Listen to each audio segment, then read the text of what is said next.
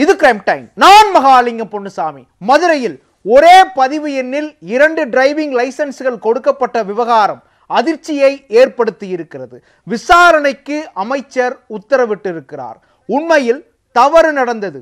எப்படி?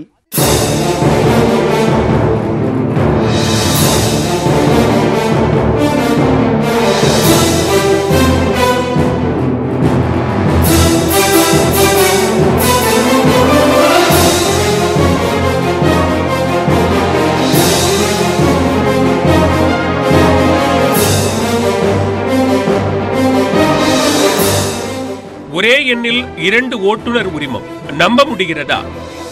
ஆனால் இதுதான் உண்மை. இந்த குளறுபடி நடந்தது எப்படி?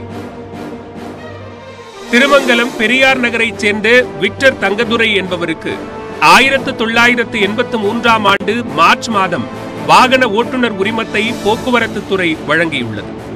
கடந்த சில மாதங்களுக்கு முன்பு உரிமத்தை புதுப்பிக்க சென்றபோது அவரது உரிமத்தின் எண்ணில் மதுரை வசந்தா நகரைச் சேர்ந்த பாஸ்கரன் என்பவரின் உரிமம் இருப்பது தெரியவந்தது.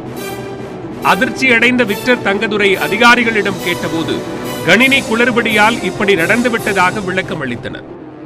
ஆனால் பழைய எண்ணிலேயே ஓட்டுநர் உரிமத்தை புதுப்பிக்க வாய்ப்பில்லை என்றும் அதிகாரிகள் கூறியுள்ளனர். அதனால் மீண்டும் உரிய ஆவணங்களுடன் விண்ணப்பித்து அதன் மூலம் புதிய ஓட்டுநர் உரிமத்தை பெற்றுள்ளார் விக்டர் தங்கதுரை. ஆனால் இது குறித்து தகவல் அறியும் உரிமைச் சட்டத்தில் கேட்டதில் முன்னுக்கு பின் முரணாக தகவல் அளிக்கப்பட்டுள்ளது. தமிழகம் முழுவதும் இதுபோன்ற முறைகேடுகள் நடந்துள்ளதாக சமூக ஆர்வலர்கள் குற்றம் சாட்டியுள்ளனர். ஏன் இப்படி நடக்குன்னா அவருடைய ஓட்டுநர் வந்து புதுப்பிக்கப்படாத சூழ்நிலை ரெனியூவலுக்கு போகிறதுக்கு இடையிலேயே அந்த ஓட்டுநர் உரிமத்தை திருடி வேற ஒரு நபருக்கு கொடுத்துட்றாங்க இது எதனால் நடக்குதுன்னா அனைத்துமே டிஜிட்டல் மையமாக ஏற்றப்படவில்லை.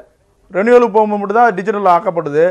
அதற்கு முன்னாடி இருக்க பழைய லைசன்ஸ் எல்லாமே வந்து தவறான முறையில் அதிகப்படியான விலைக்கு வந்து முறைகேடாக வந்து டிரைவிங் ஸ்கூல் முறைகேடாக வந்து அந்த ஆர்டிஓ ஆஃபீஸ் மூலமாகவும் யூனிட் ஆஃபீஸில் இருக்க அதிகாரிகள் மூலமாக வந்து புரோக்கர் மூலமாக வந்து தகுதியற்ற நபர்களுக்கு போலி ஓட்டுநர் உரிமங்கள் விற்கப்படுகிறது. அதனால் என்ன நடக்குன்னா சரியான நபர் வந்து பாதிக்கப்படுறாரு. தவறான நபர்கள் வந்து ஓட்ட தெரியாதவங்க உரிமை எடுக்கிறனால அவங்க நிறைய விபத்துகளை ஏற்படுத்துகிறாங்க இந்த முறையீடுகள் முழுக்க முழுக்க ஸ்கோடான்ற ஒரு எண்ணை பயன்படுத்தி தான் நடக்குது. இந்த ஸ்கோடா எண்ணை வந்து இது அலு அப்ரூவல் பண்ணுறது தான் ME superintendent ME inspector RTO இந்த மூணு பேருமே கையெழுத்து போட்டு தான் பண்ணுறாங்க ஆனால் இந்த இதுக்கு முன்னாடி அந்த தவறு யாரு பண்ணாலும் யாருமே சொல்ல மாட்டாங்க. வட்டார போக்குவரத்து அலுவலகங்களில் போலி ஓட்டுநர் உரிமங்கள் வழங்கப்பட்டதாக எழுந்த குற்றச்சாட்டில் உண்மை நிரூபணமானால் சம்பந்தப்பட்ட அதிகாரிகள் மீது கடும் நடவடிக்கை எடுக்கப்படும் என்று போக்குவரத்து துறை அமைச்சர் ராஜகண்ணப்பன் தெரிவித்துள்ளார். மாண்பு முதலமைச்சருடைய உத்தரவு வந்து நடவடிக்கை எடுக்க வேண்டும் என்பதுதான் என்னுடைய நடப்பு. அதனால் யார் தவறு செஞ்சாலும் இந்த துறையில் கட்டாயம் நடவடிக்கை எடுக்கப்படும். இல்லை அது மாதிரி தவறான குற்றச்சாட்டுகள் சொன்னால் எடுக்காம த உண்மையான குற்றச்சாட்டு குற்றச்சாட்டு நிரூபிக்கப்பட்டு துறை ரீதியாக விசாரணை நடந்து நிரூபிக்கப்பட்டால் நடவடிக்கை மேற்கொள்ளப்படும். வட்டார போக்குவரத்து துறையில் நடக்கும் முறைகேடுகள் குறித்து விரிவான விசாரணை நடத்தப்படுமா? தவறுகள் களையப்படுமா? ஆந்திர மாநிலத்தில் சமூக வலைதளம் மூலமாக